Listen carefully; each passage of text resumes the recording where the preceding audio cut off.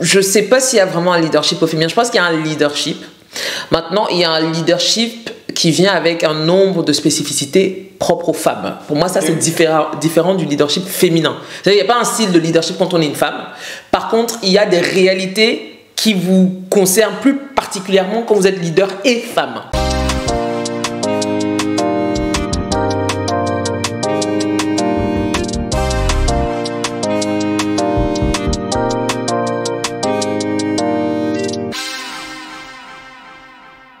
Elle est en même temps auteure, conférencière, consultante en marketing, entrepreneur.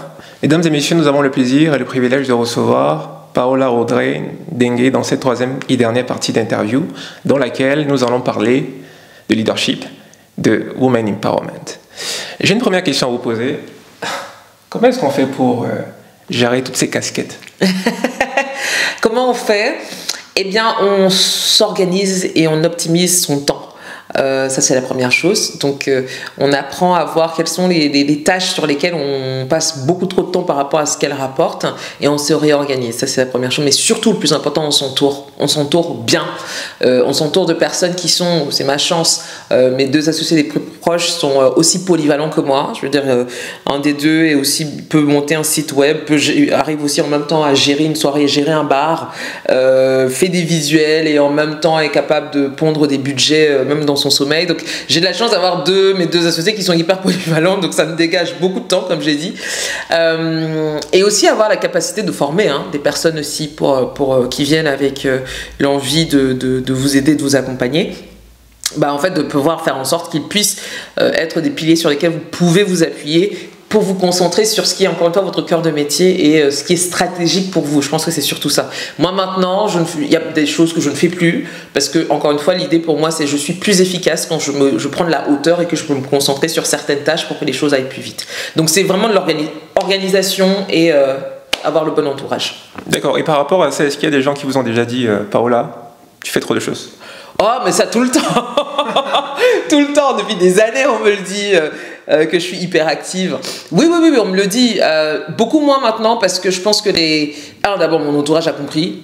Euh, depuis le temps, parce qu'ils avaient une préoccupation qui était complètement légitime. Mais attention, mais si tu fais tout ça, est-ce que, est-ce que, est-ce que, bon, ils ont vu que finalement ça va, je m'en sors plutôt pas mal.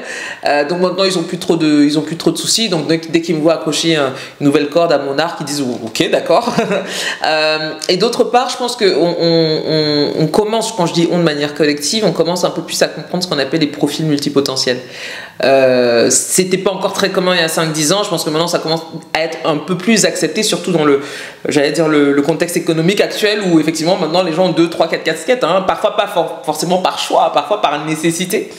Euh, moi j'ai la chance que ce soit quand même par choix. Hein, parce que même si je multiplie les casquettes, je reste quand même exclusivement dans mes domaines de prédilection. Euh, donc oui, oui, les, les gens sont. Ceux qui ne me connaissent pas sont toujours un peu surpris ou alors me pose la question de mais comment tu fais tout ça? Euh, et, et j'aurais pu rajouter ça sur le comment je fais tout ça c'est aussi que j'ai pas commencé aujourd'hui hein. donc il y a euh, il y a des choses qui apparaissent comme des tâches que je fais quotidiennement mais comme c'est des tâches que je fais depuis 14 euh, ans ou 15 ans maintenant ça me prend pas énormément de temps. C'est devenu naturel en fait. Oui, oui, oui, il y a des choses aujourd'hui, bah, parce qu'en fait, ayant commencé comme entrepreneur très tôt, j'ai dû apprendre à être polyvalente très rapidement c'était j'avais pas le choix en fait hein. j'avais pas le choix. Et moi et mes associés on a dû apprendre à être très polyvalent à faire 15 000 trucs à, à la fois gérer un, un, média créer sourcer du contenu en même temps aller faire des pitchs devant des investisseurs. Enfin j'ai dû apprendre sur le tas comme ça euh, de manière polyvalente. Euh, mais maintenant aujourd'hui ça me sert ça fait que je vais probablement 10 à 15 fois plus vite que d'autres personnes. D'accord. Alors je vous propose de faire juste un pas en arrière. En 2019 vous avez été nominé je dirais dans le Forbes Under 30, catégorie euh, Creatives. Ce prix, cette nomination, je le dirais, est-ce que ça a véritablement eu un impact dans votre vie, dans votre carrière? Et à ce moment-là, qu'est-ce que ça représentait pour vous? Oui, ça a eu un impact, ça je ne peux pas le nier. Euh, ça m'a on va dire ça m'a facilité certaines ouvertures de portes, on va dire ça comme ça. Euh, ça a créé un peu plus de, sollicitations aussi à mon niveau, surtout côté anglophone, parce que euh, y a bien évidemment il y a un Forbes Afrique et un Forbes Africa. Moi j'étais dans le Forbes Africa, donc la version Afrique anglophone du MENA, où il n'y a pas beaucoup de francophones en général dans ces classements-là. Et je crois que c'était l'année en plus où il y avait, il y avait notamment Burna Boy dans la liste, etc., des créatifs, hein, dans le top 30 avec moi. Donc du coup, c'est, j'avoue qu'être positionné là-bas en tant que francophone, du coup, on est un peu un objet de curiosité. Et donc les gens, que ce soit en Afrique du Sud ou, ou au Nigeria ou au Ghana, ont commencé un peu plus à m'approcher. Donc ne serait-ce que pour ça, quand même, ça a été plutôt utile. Euh, maintenant, qu'est-ce que ça m'a apporté? Moi, je, prends toujours beaucoup de distance avec tout ce qui est nomination, awards, etc. Bien sûr, ça fait plaisir, on va pas se mentir. Mais comme je ne travaille pas dans l'optique de collecter euh, des nominations ou des awards, pour moi, c'est... Ce sont des signes de reconnaissance, euh, mais j'essaie de ne pas non plus y attribuer trop d'importance parce que je sais que la qualité de ce que je fais ou la pertinence de ce que je fais ne se juge pas exclusivement sur ça. D'accord, d'accord. Justement, euh, vous l'avez dit dans la première partie de l'interview, quelque part, votre caractère bilingue aussi vous a aidé à être dans le Forbes Africa, on va, on va le dire ainsi. Oui, oui, oui, ça a aidé, probablement, oui. Euh, ça a aidé aussi parce que j'étais, je pense aussi, sur des problématiques qui sont... Euh, transversale, c'est-à-dire euh, peu importe la région de, de, l'Afrique dans laquelle on est. Euh, je travaillais notamment au moment de la, la, nomination dans Forbes, je travaillais pour la fondation MTV, euh, qui est déjà très très bien implantée implanté, pardon, en Afrique anglophone, et donc j'étais en charge de la première déclinaison Afrique francophone aussi, donc je pense que ça a dû un peu jouer. D'accord. Alors, si je vous dis Women Empowerment, ah. leadership au féminin, qu'est-ce que ça vous inspire? Ah, qu'est-ce que ça m'inspire? Euh, Aujourd'hui, on est dans cette vague là où on en parle beaucoup, leadership au féminin. Euh. C'est sûr. Moi, je ne sais pas s'il y a un leadership au féminin. Euh, c'est toujours mon point sur, sur quand on m'interroge là-dessus. Pour moi, il y a un leadership. Euh, est-ce que les femmes sont de meilleurs leaders Alors, selon les, les, les, les, standards que vous regardez ou les, ou les études, parce qu'il y a eu pas mal d'études dessus, euh, apparemment, les femmes seraient un peu meilleures à ce niveau-là, mais encore, euh, je ne sais pas, je sais pas s'il y a vraiment un leadership au féminin. Je pense qu'il y a un leadership. Maintenant, il y a un leadership qui vient avec un nombre de spécificités propres aux femmes. Pour moi, ça, c'est différent, différent du leadership féminin. Il n'y a pas un style de leadership quand on est une femme.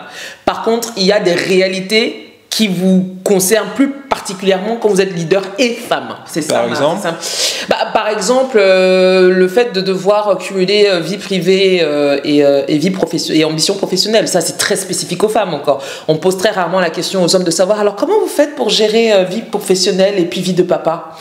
On leur pose même pas la question.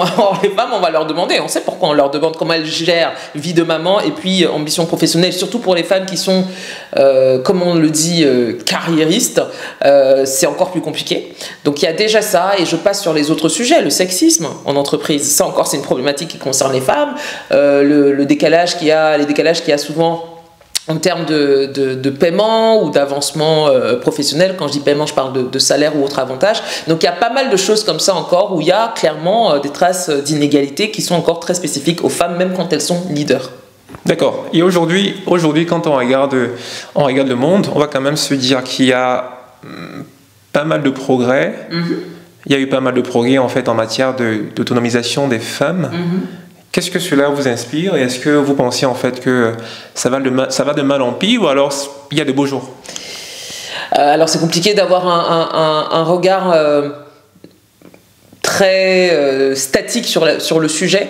Tout ce que je dirais, c'est qu'effectivement, est-ce qu'il y a eu des, évolutions sur la question des droits des femmes? Oui, encore heureux. Je ne serais pas là sinon. Hein. Donc, euh, c'est une des raisons pour lesquelles je suis euh, très, euh, très bavarde sur les, les, questions liées au féminisme. C'est parce que je considère qu'il y a on, leur doit tellement à celles qui nous ont précédés et celles qui se sont battues pour nous, euh, et qu'on a le devoir, en tout cas moi c'est ce que je conçois pour moi, euh, de continuer justement cette espèce de lutte-là, peu importe la forme que la lutte prend, ça peut être de la sensibilisation, ça peut être, euh, je sais pas moi, l'événementiel, chacun, chacun, chacune a sa manière de, de s'engager, entre guillemets. mais je pense qu'effectivement, ce qu'il faut retenir, c'est que les droits des femmes ne sont jamais 100% acquis. Parce qu'on a aussi la preuve qu'il y a des choses qu'on pensait déjà, qu'on considérait comme acquises par les femmes. Il suffit qu'il y ait un renversement politique euh, ou alors qu'il y ait, je ne sais pas moi, une poussée religieuse, etc. Et vous verrez très rapidement que ces droits-là qu'on a bataillé pour, pour, pour avoir, qu'on va nous les retirer assez rapidement. En tout cas, on va en réduire la portée. Donc il faut toujours être permanemment en train de défendre ces droits-là, parce qu'ils ne sont jamais 100% acquis. On est toujours sous la menace d'un recul. Et ça, c'est vraiment mon point de vue là-dessus. Donc il faut vraiment rester alerte. Euh, maintenant, bah, j'ai quand même, hein, sur une note un peu plus positive, j'ai quand même confiance dans l'avenir plus ou moins sur le sujet parce que pour moi c'est comme le progrès en fait le progrès a une espèce de direction qu'on peut pas arrêter le progrès va enfin je vais pas dire qu'il va rarement en arrière, on l'a déjà vu. Mais ce que je veux dire, c'est qu'il y a quand même une direction dans le temps sur le. Il y a une tendance. il y a une tendance dans le temps comme ça sur ces questions-là, et je pense actuellement qu'avec la génération de femmes actuelles, la mienne, qui sont pour beaucoup déjà mamans, et surtout celles qui vont venir après, bon, il y a des choses sur lesquelles on reviendra, on reviendra pas, ça c'est sûr. Et à titre personnel, est-ce que vous avez déjà euh, été confronté à des barrières à cause de votre parce que vous étiez une femme? Oh oui, ah oui, oui, oui, oui. Euh... Quel type de barrières Oh, bah, plusieurs. Les, les barrières. Euh... Bah, ou alors, si on ne parle pas de barrières, ça peut être plutôt des, des, des manifestations pas très plaisantes. Euh, sexisme, etc., oui. Euh, régulièrement même sur, euh, sur que ce soit sur les réseaux sociaux par exemple parce que c'est encore c'est déjà compliqué parfois quand on est une femme. Alors quand on est une femme euh, qui qui parle et qui parle sur certains sujets et qui parle sur certains sujets avec un certain ton ça commence à faire beaucoup. Et surtout qui ne caresse pas toujours les gens dans le sens du poil. Donc bien évidemment j'ai un retour de bâton mais aujourd'hui je, je, pense que je suis tellement habitué maintenant que je ne le vois plus très honnêtement. Juste une petite parenthèse. Aujourd'hui vous avez plus d'ennemis ou d'amis on va dire ça comme ça? Honnêtement, je vais, vous, donner la réponse telle qu'elle telle qu'elle me vient. Je ne regarde pas, je compte pas mes ennemis parce que je suis plutôt concentré sur les gens qui, moi, m'écrivent tous les jours. Euh,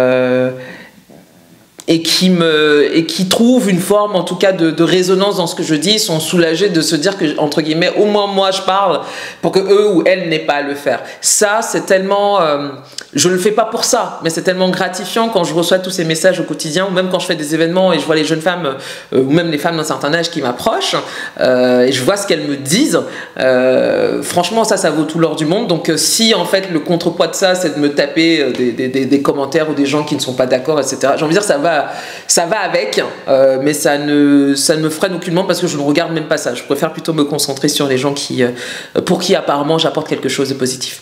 D'accord. Et s'il y a une femme qui, regarde, qui va regarder cette interview et qui se demande quel conseil est-ce que vous pourriez lui donner en matière d'expression de, de, son leadership? Mm -hmm. Euh, en matière d'expression de son leadership, je lui demanderais d'abord de, de, chercher à savoir quel est le but de son leadership. Encore une fois, j'insiste, hein, on n'est pas leader pour être leader. Moi-même, si on me pose vraiment la question, je ne me considère pas comme un leader parce que j'ai jamais cherché à, à l'être et je sais pas vraiment quelque chose que je cherche. Je suis une, une, leader par accident parce que je fais certaines choses et que ça a entraîné du leadership. D'ailleurs, c'est quoi être leader? Juste une petite parenthèse. Pour moi, être leader, c'est euh, quelque part, c'est diriger, c'est à vous donner la direction, c'est donner. Euh, c'est prendre, c'est prendre les choses en main. D'accord euh, Et ça, encore une fois, je lis beaucoup ça. Il y a des gens qui sont prédisposés en termes de personnalité à faire ça. D'autres non. D'autres le sont devenus par la force des choses. Euh, voilà. Donc, je, je, je, dirais à la jeune femme en question d'abord réfléchir. Il ne faut pas juste vouloir être leader, vouloir diriger pour diriger. Qu'est-ce que vous voulez faire? Qu'est-ce qu'elle considère comme être son presque son rôle, sa vocation sur Terre. Je pense que ça commence par là. Une fois qu'on détermine ça, eh bien les choses sont un peu plus claires euh, sur la direction à prendre. Et maintenant, le reste, après, c'est beaucoup de s'entraîner, c'est beaucoup de travailler avec les autres, euh, apprendre des retours, faire en sorte d'avoir un entourage euh, qui est bienveillant, mais qui vous dise la vérité aussi. C'est très important pour progresser. Est-ce qu'on peut exprimer son leadership sans être leader au final? Je pense que oui. Okay. Je pense que oui. Je pense qu'on peut avoir des, des, des, des, capacités à diriger. Euh, on, peut, on peut les montrer. Et ne pas nécessairement aspirer à diriger. Je ne sais pas si c'est clair, mais c'est-à-dire que je pense que quelqu'un, on peut avoir certaines capacités, c'est pas pour autant qu'on a envie de les exploiter. C'est ça mon point. Euh, c'est pas parce qu'on a effectivement une capacité de, de, de, de pouvoir mener des équipes on peut être très bon là-dedans, mais peut-être que ça ne correspond pas à qui l'on est, euh, outre mesure, ou que ça ne correspond pas à son projet professionnel ou même personnel. Hein, si euh, on a envie de mener une vie de bohème, etc., oui, alors tu as de très bonnes capacités de leadership, oui, super, mais ça ne colle pas avec moi, mes, mes envies, ni mon projet, donc euh, je n'ai pas forcément à m'en servir, ou alors je peux trouver un autre moyen. Donc je pense qu'il faut toujours revenir à profondément qui l'on est, quelle est la définition personnelle qu'on a de son, de son bonheur, de son épanouissement. Et ensuite, une fois qu'on a fait cet exercice, quelles sont les capacités qu'on a naturellement qui peuvent nous aider à atteindre justement ces objectifs-là? Super. Je vais vous laisser euh, adresser un message pour la fin. Ah, un message pour la fin, ça va être très simple. Merci beaucoup pour l'interview. J'espère que euh, celles et ceux qui nous regardent auront euh, appris une chose ou deux. voilà, je pense que je m'arrêterai là, sinon je serai trop bavarde. Mesdames et messieurs, c'est sur ces sourires, cette note joyeuse que nous allons mettre un terme à cette troisième partie d'interview. À très bientôt.